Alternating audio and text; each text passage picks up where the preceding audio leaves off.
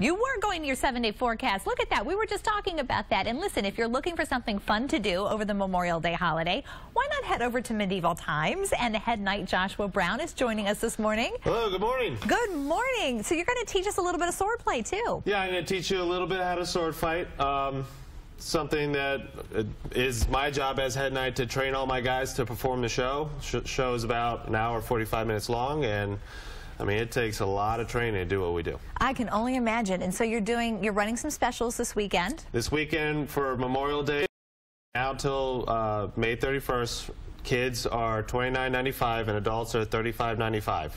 And um, yeah, come see us at the show. That is a great deal. You have all the horses there. You were just telling me your barn is actually on site out there at Arundel Mills, and you have 25 horses? Yeah, we have about 25 horses, including a few new horses that aren't quite in the show yet. And you've been doing this for 11 years? Uh, 11 and a half years.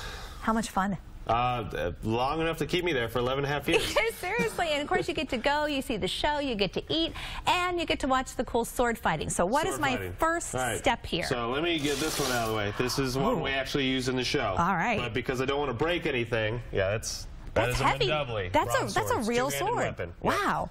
Um, so I don't okay. want to break anything, so I'm going to yes, put this please. over here. And we're going to move away from the monitors. So, yeah.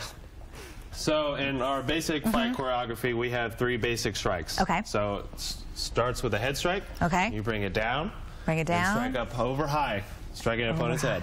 All right, like that? Okay, and so then, let's do it again. Okay, so okay. down. Down. And over and high. And over high. And striking the head. Okay. Okay, next is a shoulder strike, and you just prepare it level with your own shoulder mm -hmm. and strike at your opponent's shoulder. Like that? Okay. All right. And level.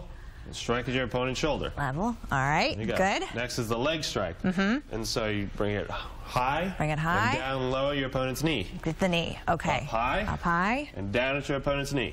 Look, it, it's like it's like playing tennis, but in a different way, you know? A little different. a little different because you're swinging different. something at somebody. Right. Now, these, of course, available in the gift shop. These are available in our gift shop. How much fun? Like King Arthur's out right now. People are getting all excited about that, and then you get to go and watch the yeah, show. Yeah, it's a pretty unique experience. Um, it's You can only do this uh, certain places in the world. Yeah. And we like to travel people and just transport them to a different era. Okay, well, I don't think I'm going to be uh, sword fighting anytime soon, but thank you so much for coming in. This was a lot of fun. You can also take sword fighting or knight classes to become like a mini medieval knight person in July. So you can go to your website to find out how. Yeah, junior knight training. All right, Josh.